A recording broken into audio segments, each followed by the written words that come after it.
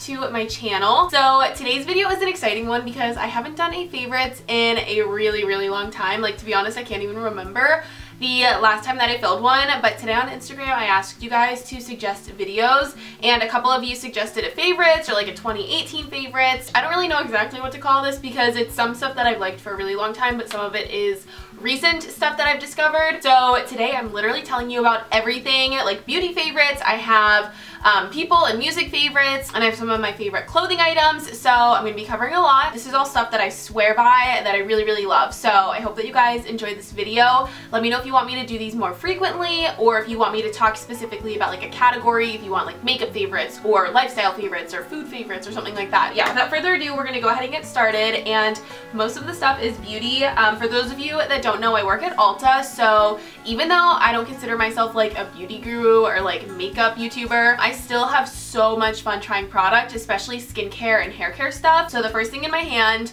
you guys all know what this is. Mario Badescu facial spray. Personally, I love the cucumber one, so the green facial spray. They also have a lavender one, the original rose water, and then they recently came out with an orange one. I think they all feel the same. I just like the way that this one smells the best. Basically, what I like to do with this spray is use it at the very end of my skincare routine. You know, face wash, I'll put on moisturizer and eye cream if I have a spot treatment or whatever I'm putting on, and then this is the very last thing that I do, and I don't know why I love to like just spray it on at the end. I just think it feels really good. Also, in general, I have dry skin, so it just feels really refreshing. Some people like to use this to set their makeup. Some people like to use this throughout the day if they're just kind of feeling like tired or like they need to bring some life back to their face. So this is so multi-purposeful. So then next up is actually another facial spray. This one's the Kopari Coconut Rose Toner.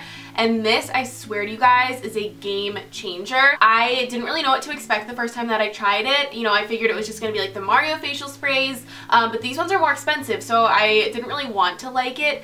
But this one specifically is a toner. You could use it after your moisturizer or like throughout the day the same way that I do with the Mario spray, but specifically as a toner, so on my bare face after I cleanse before I put on my moisturizer, I swear this helped clear up my acne and it helps with texture and just there were so many amazing amazing things that happened to my skin after I started using this. Um, so this one's my second bottle. I'm actually almost out of it but the Ulta that I work with hasn't stocked it in a little while, so I'm like savoring this last little bit. Um, but I love Kopari. I really want to try more of their stuff. I know people love their natural deodorant. So even if I use this as a toner, I'll still go in with the Mario spray, but this one, I swear, like I love this so much. And I guess while I'm talking about skincare items, um, another one of my all-time faves is the First Aid Beauty Pure Skin Cleanser. If you guys watched the first skincare routine video that I filmed, which at this point was two or three years ago, I was using this cleanser then and I'm still using it to this day. And I've tried some other ones in between that I've definitely liked,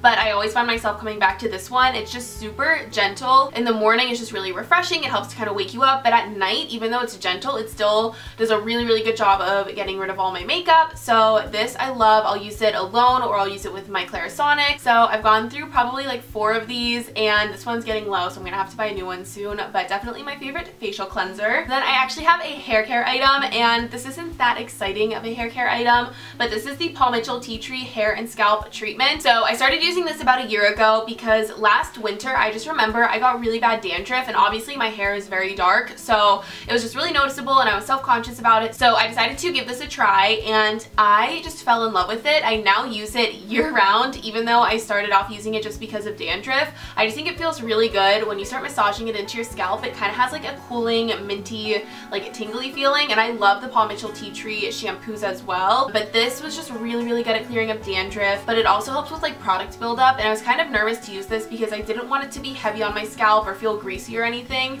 because you wash your hair and then you massage this in and then you rinse it out and I don't really like putting product on my scalp scalp because I only wash my hair every like four or five days. So obviously I want to keep my scalp as clean for as long as possible. Um, but this, I mean, like once you rinse it out, you can't even feel it in your hair, but my hair is so much softer. And then also use conditioner like I normally do, but it has little beads in there, so it's exfoliating. So yeah, it's basically just like a little spa day for your head. I use this every like three times I wash my hair and I love it. Obviously I love it because uh, these are all favorites, so they're all things that I love. So then my next favorite is Dr. Bronner's. This soap, I feel like I had heard people talk about for so long and I just like never felt the need to try it out. This is now, I think, my fourth bottle of it in the past year because I love it so much. So when I first started using it, I was just using it as like a body wash in the shower. But then I started using it for more things and now it's like I use it for so many just steps in my daily routine that I like really can't live without it. So this one is the peppermint one.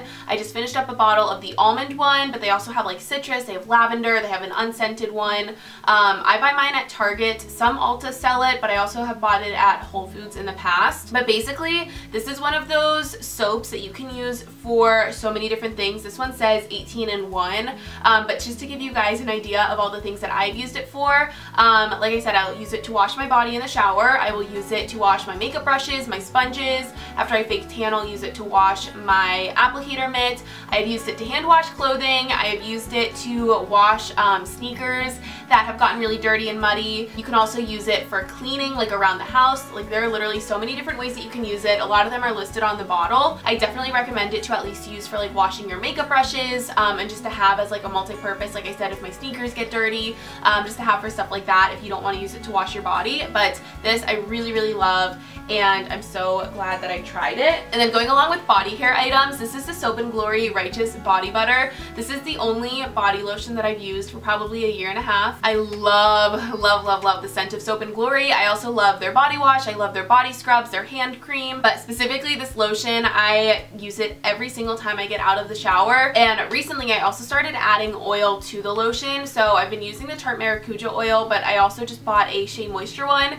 that I haven't gotten a chance to try yet, but I'll put a couple pumps of this in my hand and then a couple drops of oil and just mix them together. And I feel like the scent of this mixed with Prada Candy is like my signature scent. So yeah, try this out if you haven't already and just all of their products if you're looking for some good affordable bath products. So then a more recent addition to my routine is fake tanning and I just tried it for the first time last spring or early summer. I was always so scared to because I didn't want to be orange. I didn't want it to be obvious. But eventually I was just like, what the heck? I'm going to give it a try. So I've only ever tried Saint Tropez when it comes to fake tanners. So I can't, you know, say from a lot of experience whether this one is better than any other one that I've tried. But I love this so much that I don't have the urge to try other brands, which I think says a lot. But I do want to do a video specifically on my fake tanning routine. So if you guys would be interested in that, let me know. So I have one and only one makeup product. All of that was beauty related, but this is the only cosmetic item that I felt like talking to you guys about. And this is the NARS Pure Radiant Tinted Moisturizer. And as soon as I tried this, I have not wanted to put any other type of foundation on my face. This, I swear, is everything that I've ever looked for when it comes to a foundation in this little bottle. So the coverage on this, I would say, is light to medium. Now, for me, on a day-to-day -day basis, that's all that I want. I love a good full coverage foundation every once in a while, but for day-to-day, -day, this is so perfect. I will put on some under-eye concealer, and I use a setting powder with it that gives me a little bit of a little bit more coverage. But what I love about this the most is the way that it wears throughout the day, because a lot of the times I'm doing my makeup at like 8 or 9 in the morning and then I'm wearing it until like 10 or 11 o'clock at night and this does not break up, it does not get greasy, it doesn't start to get really shiny and cakey or anything gross, which for me, even though I'm dry, it tends to happen after, you know, 10 or 11 hours of wearing a foundation. I feel like it's sometimes inevitable, or at least that's what I thought until I tried this. So it just wears so well. I know that NARS can be pricey, but from everything that I've tried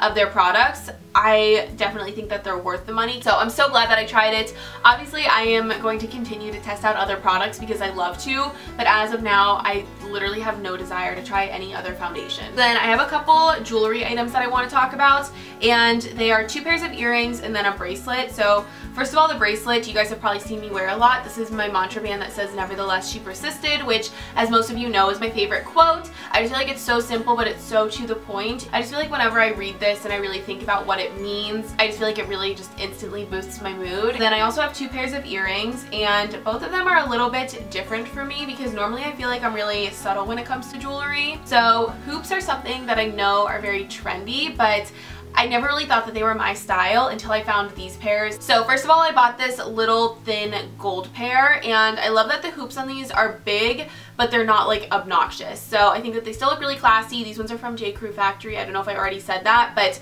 these are really, really easy to throw on. And I think that they can really change the way that an outfit looks, even though they're so subtle. But then I also got these ones from Target, and these are part of their BaubleBar line. You guys have probably seen me wear these a couple times now, but they have like the tortoise shell bottom, which I think is so fun. And when I don't want to be like super crazy with statement earrings, um, I feel like these are just a good happy medium while still being classy and neutral, but they're different. So next up I have a candle favorite, and this one is the almond candle from Bath & Body Works. So this is my second one of this candle, but I didn't know that they only made it in the fall. So this year when fall rolls around, I'm literally going to stock up on so many of them. I am savoring this candle. I only burn it on like special occasions, but I try not to burn it for too long at once because I don't want to run out of it. It's just like a nice warm scent without being very sweet or like a cupcake candy kind of smell. So next up I have some clothing favorites.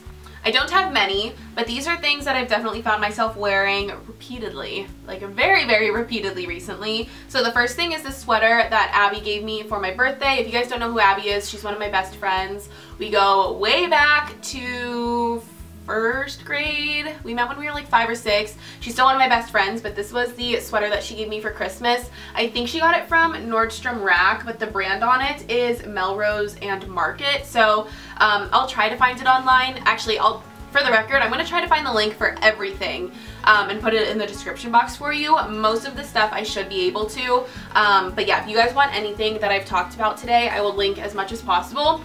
But this sweater, I love that it kind of has like a warm taupey gray color, but in some lighting, like right now I think it looks kind of purple. It's so soft and comfy, but I like that it's casual, but when I wear it with like more fun earrings um, or like a fun pair of shoes or something, I can make it just look a lot more dressy, but it's still like casual, and if I wear it with jeans or leggings or something, it's laid back.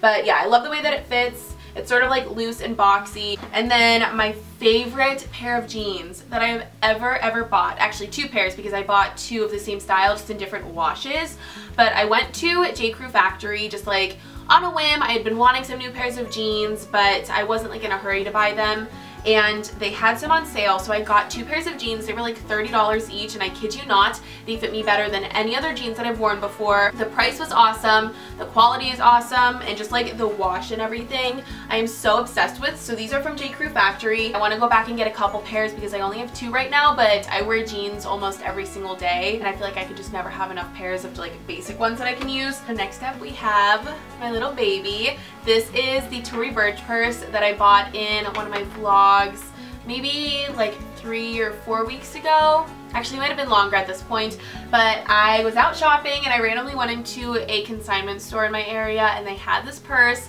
brand new with the tags on and I was just immediately so drawn to it and I am really really happy that I decided to pick it up. I know this is a very summery and spring-esque purse but when I wear it with all black in the winter or if I'm wearing like a really dark outfit and throw this on I feel like it just makes it a lot more me and a lot more my style. So I'm obsessed with this. It's very roomy and spacious on the inside like there are a couple different like pockets in here so my wallet fits in here but I can also put in like my vlog camera. Like this purse is literally one of my favorite things that I've ever bought. I'm literally just so obsessed with this purse. I can't even put it to words. So then I have two shoe favorites that I want to talk to you guys about. The first ones are these little booties from Target and people were blowing up my Instagram when I posted a picture wearing these because everyone wanted to know where they were from. So they are from Target. They're by the brand Universal Thread. I love these because depending on the jeans that I'm wearing, some of them are a little bit longer, some of them are a little bit shorter, and I don't always like the way that ankle booties hit um, because I like to have a little bit of skin showing between my jeans and my booties. I know, scandalous. So I love that these are low, but also having the open side is just like so trendy and different and I love them. I also think that they're going to be easy to transition into like spring or in the fall. If you want to wear it with a dress, it's not going to be like too wintry or anything. So these I'm obsessed with and they're really, really comfy. And then the other pair of shoes that I want to talk about are a little bit dirty right now, but these are my light pink sneakers and you guys ask me about these all the time, so I figured I'd Go ahead and just address it in a video. So these ones are from Adidas and I actually got them from Journey Kids, which when I saw them in the window, I didn't even realize that it was a kid's shoe store. So I just like went in and asked to try them on. Um, but yeah, these are from Adidas. So I'm normally a 9 or a 10 in women's shoes, which catches people off guard. They don't realize that I have big feet. But these are a 7, so even though they're from the kids store, they're men's sizing. So they run really big for being kids shoes. So if you can get your hands on these, um, I absolutely love them. I love that they're pink. Obviously they're girly and they're fun, but they're still neutrals. Um, like I said, I do have to clean these right now. So when I said earlier that I use the Dr. Bronner's to clean my shoes, these ones especially, I've washed so many times and they've held up really well. I've had them for at least like a year now. So that is it for all of the physical stuff that I have here to show you guys, but I did want to talk about some other random little favorites. So first of all, I have a person favorite that I have to talk about. Brittany from 5 Foot One Teacher has definitely become one of my favorite, favorite YouTubers. I found her maybe about four months ago and I just immediately was so drawn to her personality and her optimism just about everything in life. So Brittany actually went through something really traumatic last February. She um, works at a school that had a shooting last February, um, Stoneman Douglas, which you guys might be familiar with. They had a shooting on Valentine's Day last year. So even though her and I went through very different situations, we both have dealt with tragic loss. So I feel like I've connected with her on that level, but also just her personality and how bubbly she is and how adorable she is. Um, these earrings that I have on were actually made by Starfish Project, but they're in honor of Brittany because yellow is her favorite color because obviously it's a happy color. But yeah, if you guys don't know who she is, definitely go check her out and send her some love. Also, some music favorites I want to talk about because I feel like I don't really talk about music that much on here um, and I get questions a lot about what kind of music I listen to. So something that surprises people a lot is that I mostly listen to country music. I've always been a fan of Garth Brooks. He's probably my favorite singer. Um, but more recently, I have started to listen to like different music and I don't even know what genre this would be considered but I have a playlist on Pandora and it was originally a John Mayer radio station but I added variety so I added like Michael Bublé, I added Frank Sinatra, I added Chris Stapleton who's like more of a country singer, I added Jason Mraz who I love. So this John Mayer radio has turned into a very just like chill radio station and I absolutely love it. I don't know if you're able to share Pandora stations the way that you are with um, Spotify, how you can like link a playlist. So I will try to do that, but if I can't, I'll just like list um, all the artists that I've had variety to, but I love, love the playlist so much. That's what I listen to pretty much every single day. Um, other random favorites, I watched You on Netflix and I was obsessed with it. I had so many of you guys recommend it to me and I'm really really glad that I watched it. It's definitely creepy, it's gory, and if you don't like scary or suspenseful stuff then I don't recommend it. It kind of reminds me of Pretty Little Liars but it's like more of a mature version. Um, also I watched Bird Box as did everyone and I thought that was good. I watched Handmaid's Tale over the summer and that was one of my favorite shows so if you guys have Hulu um, definitely try that show. Also Mamma Mia that came out over the summer that is definitely one of my favorites favorites. I've always, always, always been a fan of the original Mamma Mia. I know all of the songs by heart. Um, I also listen to music like that when I'm in the car a lot, which I know a lot of people find funny. When the new movie came out, I was so obsessed with it. I actually saw it in theaters twice, and I also know all of those um, songs now. I don't know, I feel like that's all like the newer stuff that I might not have talked about on my channel, but that's actually everything that I had to share with you guys. So I hope that you enjoyed this favorites video. Let me know if you want me to do more, or if there are any like specific categories that you would want me to talk about. But even if you don't want me to do a favorites video, just let me know what other other recommendations you would have. Obviously, it's a new year, so any type of video suggestions would be awesome. I love you guys so much, and thank you for watching this video. So make sure you subscribe if you haven't already. Make sure you give this video a thumbs up, and I will talk to you in my next one. Bye!